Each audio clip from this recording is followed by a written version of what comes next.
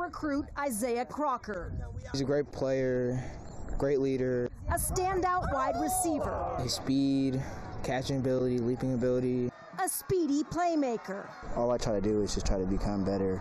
Um, I like playing against better competitors to make myself better. standing six foot two and a slender 170 pounds. And I am skinny, so um, I guess I try to jump over people because that's my my uh, natural ability is to uh, my jumping ability. So I try to take that to the next level, of course, and um, try to play as big as I can. As for his heart, it's much bigger than the game of football. I just dedicate it to my mom. She got shot when I was seven years old, and um, ever since everything wasn't the same. So I just put sports and try to take that to the next level. turning a tragedy into a tribute.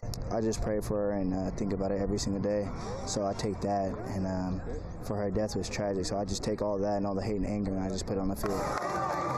There's no denying he brings the wow factor to the field. Number one, he's he's a great he's a great student athlete. Um, he's got he's a character. Uh, the kids the kids love to be playing with him, and uh, he's a great athlete. On top of that, I mean, he's being recruited by everybody across the nation. A target on the radar, narrowing down his top five schools. Alabama, UCLA, um, Oregon, Oregon State, Nebraska. A prospect enjoying the process. A very special, and I never knew I could come, you know, come here, be in the place I am today. Um, but yet again, I got to dedicate it to my mom and um, God, of course.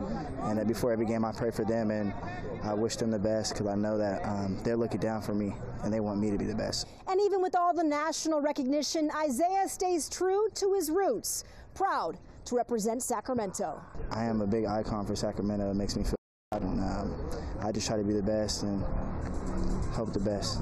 And right now, that best includes being the best Tiger teammate. I don't even have any goals for myself.